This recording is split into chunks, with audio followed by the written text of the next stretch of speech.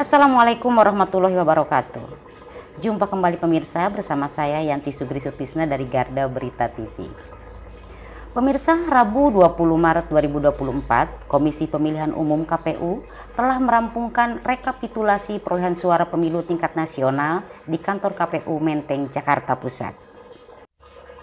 Melalui surat keputusan KPU RI nomor 360 tahun 2024 tentang hasil pemilu tahun 2024, Hasim Asari menyampaikan perolehan suara Pilpres dan Wapres yakni nomor urut 01 Anies Baswedan Muhaimin Iskandar meraih suara 40.971.906 suara.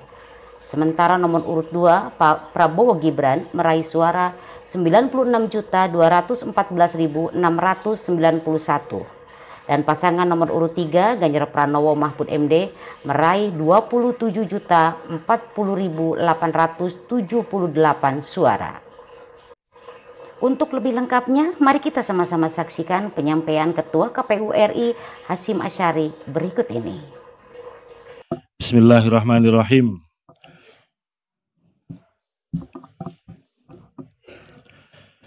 Pembacaan Keputusan Komisi Pemilihan Umum nomor 360 tahun 2024 tentang penetapan hasil pemilihan umum presiden dan wakil presiden, anggota Dewan Perwakilan Rakyat, Dewan Perwakilan Daerah, Dewan Perwakilan Rakyat Daerah Provinsi, dan Dewan Perwakilan Rakyat Daerah Kabupaten Kota secara nasional dalam pemilihan umum tahun 2024.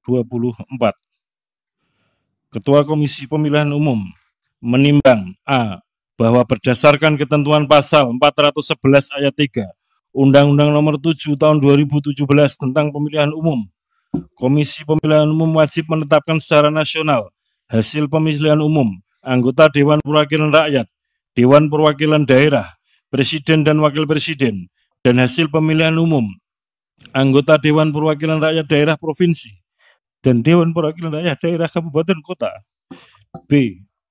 Bahwa untuk melaksanakan ketentuan pasal 92 ayat 1 Peraturan Komisi Pemilihan Umum nomor 5 tahun 2024 tentang rekapitulasi hasil penghitungan perolehan suara dan penetapan hasil pemilihan umum. C.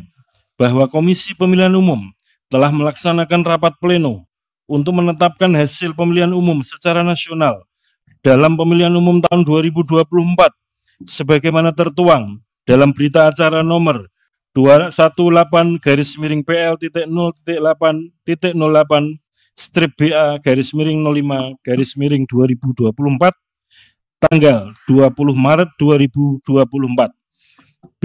Bahwa berdasarkan pertimbangan sebagaimana dimaksud dalam huruf A, huruf B, dan huruf C perlu menetapkan keputusan Komisi Pemilihan Umum tentang penetapan hasil pemilihan umum presiden dan wakil presiden, anggota Dewan Perwakilan Rakyat, Dewan Perwakilan Daerah, Dewan Perwakilan Rakyat Daerah Provinsi, dan Dewan Perwakilan Rakyat Daerah Kabupaten Kota secara nasional dalam pemilihan umum tahun 2024. 1.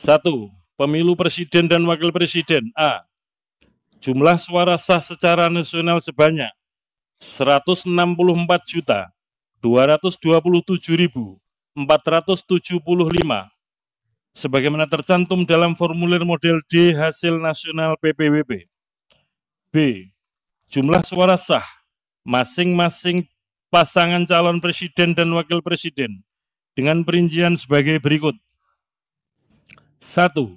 Jumlah suara sah pasangan calon presiden dan wakil presiden nomor urut 1 Haji Anies Rashid Baswedan PhD dan Dr. HC Haji Abdul Muhaimin Iskandar sebanyak 40 juta 971.906 suara. 2. Jumlah suara sah pasangan calon presiden wakil dan wakil presiden nomor urut 2 Haji Prabowo Subianto dan Gibran Raka Buming Raka sebanyak 96 juta 214.691 suara. 3. Jumlah suara sah pasangan calon presiden dan wakil presiden nomor urut 3, Haji Ganjar Pranowo, SHMIP, dan Profesor Dr. Haji Muhammad Mahfud MD sebanyak 27 juta 40.878 suara. 2. Pemilu anggota DPR. Jumlah suara sah secara nasional sebanyak 151 juta 796.631 suara sebagaimana tercantum dalam formulir model D hasil nasional DPR. Jumlah perolehan suara sah setiap partai politik peserta pemilu tahun 2024 secara nasional sebagai berikut. Sesuai dengan nomor urut.